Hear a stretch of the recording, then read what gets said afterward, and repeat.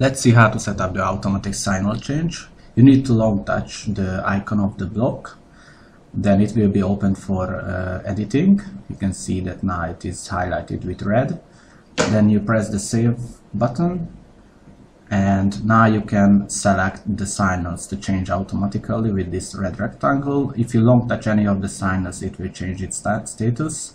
So now I will set all of them to red and then I press the save button and set the um, feedback module address and uh, input and that's it.